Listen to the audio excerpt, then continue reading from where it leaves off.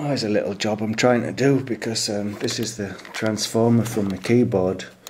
And as you see one of the pins are snapped off. So I've taken it apart just to see if I can do a, a little fix on it. It's got these funny little screws on it which are specially made for a special screwdriver. So they were quite hard to get out.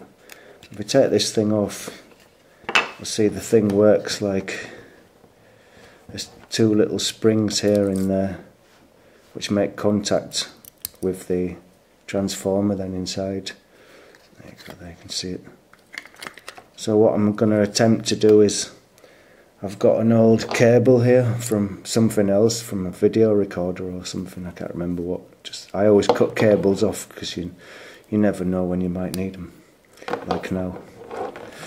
And uh, what I intend to do is um, is just solder that onto these uh, two uh, cables here, onto these two points here, and and then where the old pins were there, if you can see where the pins were there, I'll just drill a hole in there and take the cable through there. So let's see if it works. And once again, I wouldn't recommend uh, following me as a professional or anything. I'm just doing it to try and get this thing working. Hopefully, I won't burn the house down. But as I'm saying, uh, I'm not an electrician and I wouldn't like anyone's safety to be dependent on this video.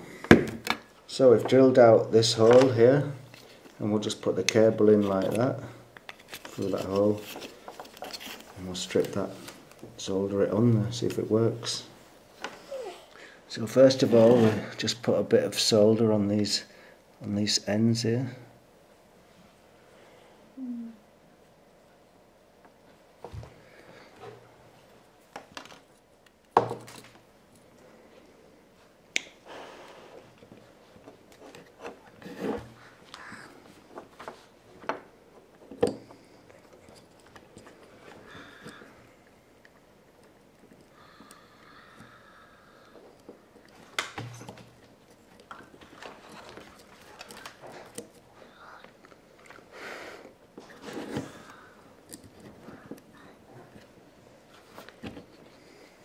So the next thing we've got to do is just put this together and see if it works.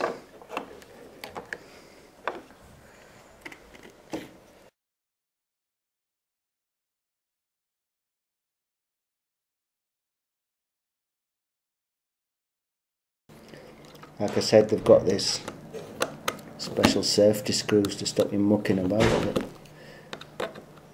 So it's quite hard to screw them in.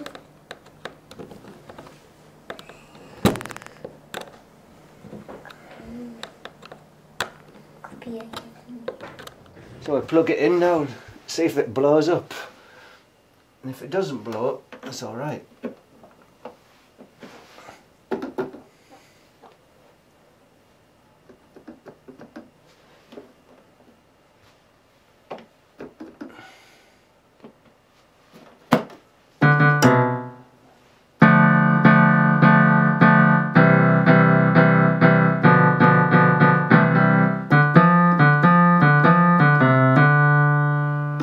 See, works.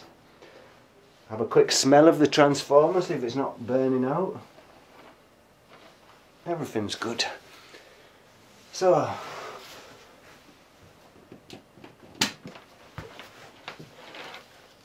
saved a couple of pennies and got the job done.